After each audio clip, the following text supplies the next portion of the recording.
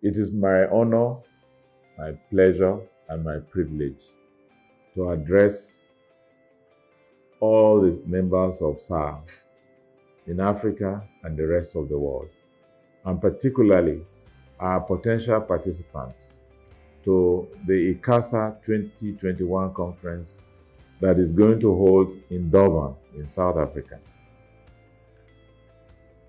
Many of you will remember that in 2019, we had a wonderful conference in Kigali, attended by nearly 9,000 delegates.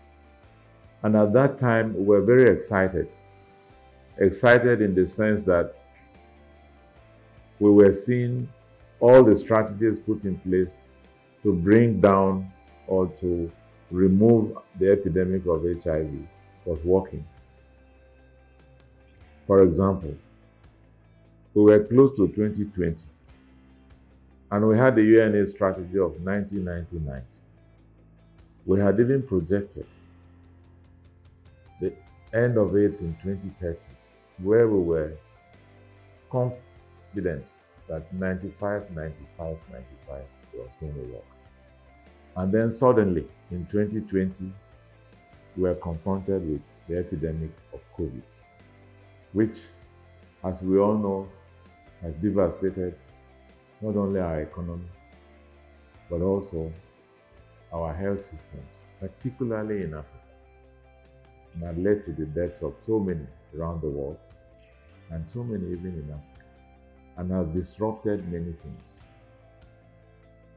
As Society for AIDS, our main trust is contributing to end HIV AIDS in Africa, but also over the last decade or so, we have tackled all the other diseases that are related to HIV. And even the emerging ones, which we now see, have also contributed to challenges in our march to ending AIDS. And in this respect, I must talk about what COVID has done as far as HIV arena is concerned.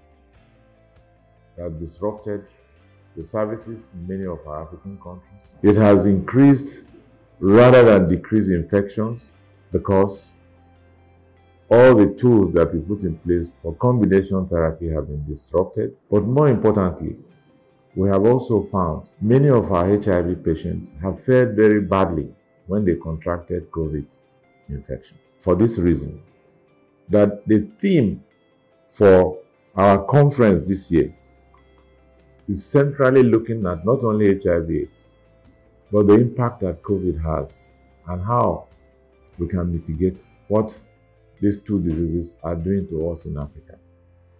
So the theme for our conference in Durban 2021 is the race to 2030. Evidence, scale up, and accelerate. Can be no better team. And I want to assure all our members and potential participants that Durban 2021 is a reality. Only a couple of weeks ago, we had a very successful virtual meeting with the team in South Africa, led by no other person than the Honorable Minister of Health of South Africa, uh, Dr. Zwelithini Mkhize. And we have been assured that come December 2021, the ICASA conference for Durban is going to hold. We have proposed, given the scenario that is available, that it is going to be hybrid because of the COVID epidemic. That means that in person attendance may be up to 2,000 to 3,000, but the rest of the participants will do it through a virtual means.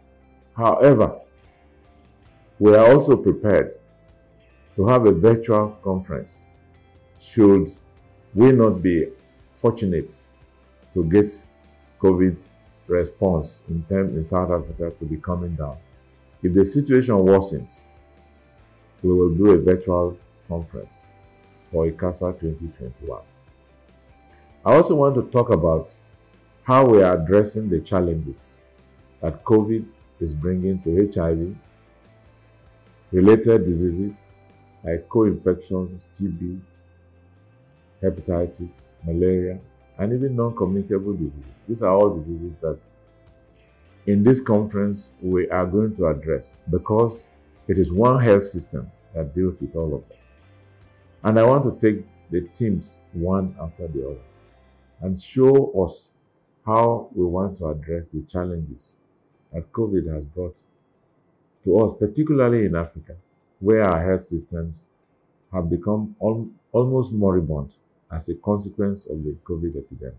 One of the first teams that we have put in place is to strengthen the health system to integrate high impact interventions on comorbidities and emerging infections and non communicable diseases.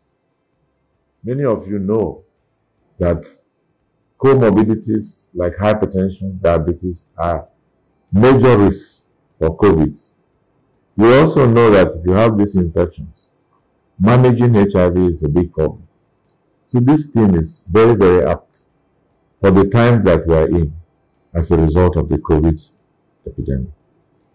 The second and very important theme is to build, strengthen, and invest in Africa's scientific capacity and manufacturing of vaccines, diagnostics, and therapeutics.